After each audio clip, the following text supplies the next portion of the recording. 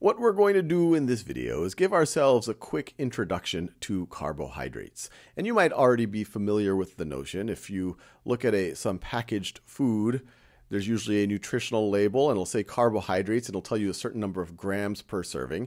And not all carbohydrates are edible, but many of the things that we eat or many carbohydrates are edible and many of the foods we eat have some carbohydrate component to it.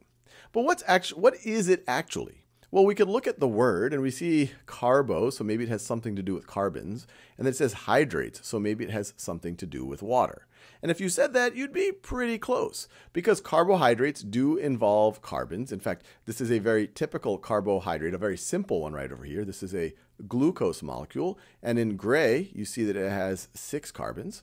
And the hydrate part refers to that carbohydrates typically have oxygen to hydrogens in the same ratio as you would expect in water. So for every one oxygen, two hydrogens. And you see that right over here, where in glucose you have one, two, three, four, five, six oxygens, and you have 12 hydrogens. And so this that's where this word comes from. Now, another word that is often used interchangeably with carbohydrates is the term saccharide. Saccharide. And saccharide comes from Greek for sweet. And that makes sense because if you were to taste glucose, it would taste sweet to you. Now, what's interesting about something like glucose is glucose can be a standalone molecule, a very simple sugar in this case, or you can build up larger molecules with really glucose as a building block. So for example, right over here, we have a part of a glycogen molecule. And as you can see, it's just a repeating sequence of glucose molecules. And so something like this, we would call glucose a monosaccharide. It's one simple sugar right over here, monosaccharide. And we would call this glycogen a polysaccharide. Poly, polysaccharide. Or another way to think about it is glucose is the building block for the glycogen. Another term you might see is monomer and polymer. Those are the general terms of if I'm building a large molecule out of a chain of smaller ones, the building blocks we would consider to be monomers, and then the thing that we build out of those monomers could be our polymer.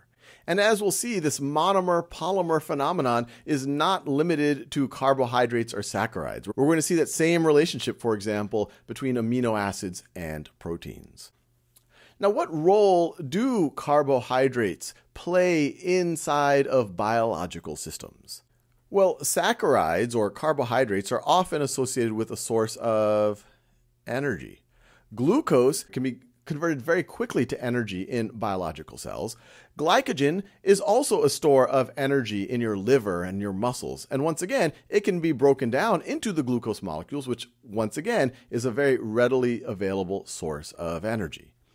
Now, in plants especially, some of these polysaccharides could also play a structural role if we're talking about things like cellulose, which is another polysaccharide. So there's also a structural role now, I will leave you there. We have focused only on one type of monosaccharide in glucose and only on one type of polysaccharide in glycogen. As we will see, glucose does show up a lot, but there are many other types of monosaccharides and there are many other types of polysaccharides. And polysaccharides in particular are part of a broader group of molecules known as macromolecules. And as you can imagine, from the macro prefix. It's referring to large molecules, oftentimes that have thousands of atoms in them. But don't get the wrong idea. They're very large at an atomic level, but each of these circles are still atoms. So you would still need a very, very, very, very powerful microscope to even take a look at even some of the largest macromolecules, including polysaccharides.